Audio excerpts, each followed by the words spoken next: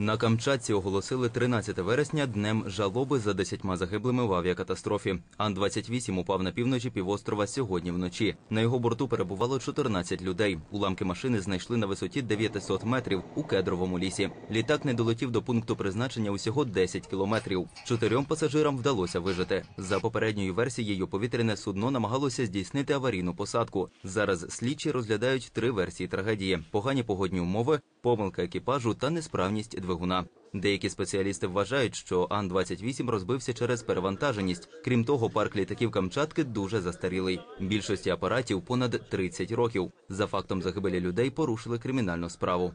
В зоне э, чрезвычайной ситуации находятся э, медики, которые поддерживают жизнедеятельность четырех человек. Э, Все э, с- средства медицинские э, в наличии, угрозы жизне- жизнедеятельности э, этих людей нет.